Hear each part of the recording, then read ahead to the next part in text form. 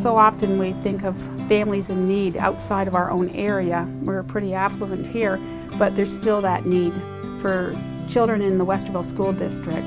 Um, this fulfills that need. Our families are off of school for several weeks for the holidays. The less fortunate students, they're not getting free or reduced breakfasts and lunches. So what we strive to do is to provide a little extra for those two weeks that they're off to ensure that there is something in their pantry for our students to eat. We see the need increase every year. At times I think, when is that going to stop? But I have faith that it will be provided to us. This is our 20th year of doing the annual food drive for Westerville Caring and Sharing city employees have really gotten into it each year. We start early in the morning and we go to each department and we pick up the food. I've been here for 17 years. When I first started, we went from, you know, maybe uh, one truck and now we've grown to six trucks. This morning we're all getting our trucks ready.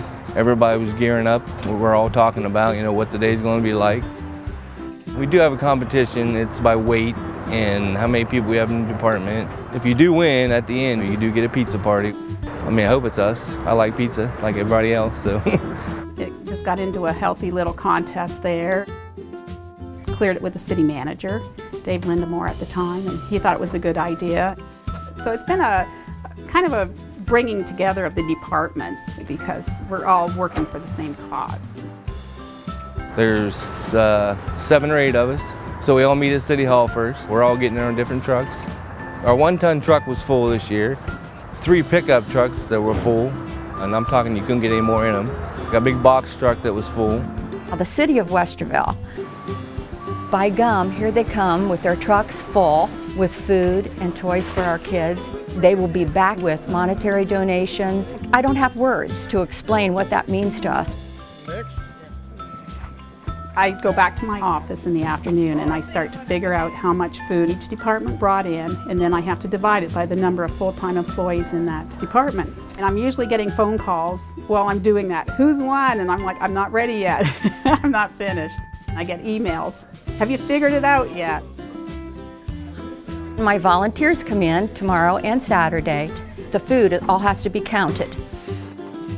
Each family that comes in will pick up their food boxes gifts. A red wagon with a holiday meal will also go out to each of our families. At the end of it all, you know, you come through here, you see all the trucks empty. You go in here and you look at all this food in here, and I know that I had a part of that. And the guys that I work with had a part of that. It just makes you feel really good. Now, I may not be the richest man here, but when I go home, I have food in my cupboard.